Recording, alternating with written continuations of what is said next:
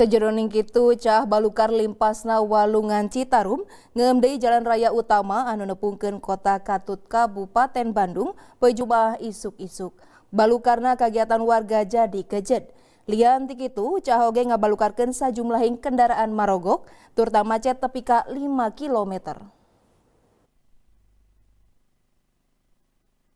Satu tas katarajang hujan poe kemis pas sore tepi kapetingdakeun, ca balukar limpas na walungan Citarum ngeueum deui sawatara wewengkon Kabupaten Bandung poe Jumaah berang. Lianti pamukiman warga eta ca teh ngeueum jalan anu nepungkeun kota Turta Kabupaten Bandung di lelawak Dayakolot tepi ka 70 cm. Balukarna kegiatan warga jadi gejed. Warga nu sejamiang digawe kapaksa mentasan caa. Lantaran kekeum caah mesin kendaraan anu dipake mangsa mentasan caah jadi mogok.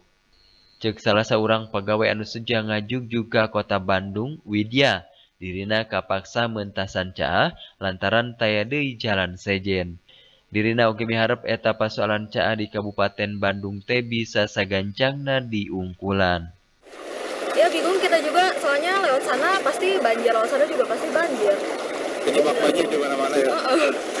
Kamu tadi kedalaman di sana berapa teh? Tadi ini kalau misalkan di sana itu paha, tapi ada yang lebih dalam lagi tuh di sana tuh udah nyampe seleher, udah nyampe uh, kepala orang dewasa. Ini nih lihat kondisi ini bosan nggak sih? Ini udah langganan sih, udah tiap tahun, udah setiap hujan pasti kayak gini. Eta caan ngeueum Kecamatan Bale Endah Kolot sarta Bojong Soang Kabupaten Bandung teh lain anu munggaran karandapan. Caa setutas hujan gede anu karandapan di lelewak Kabupaten Bandung teh ngagejed patali marga di lelewak Bojong Soang tapi ka macet sapanjang 5 km anu ti arah kota ngajuk juga Kabupaten Bandung. Rezi Tia Prasaja, Bandung TV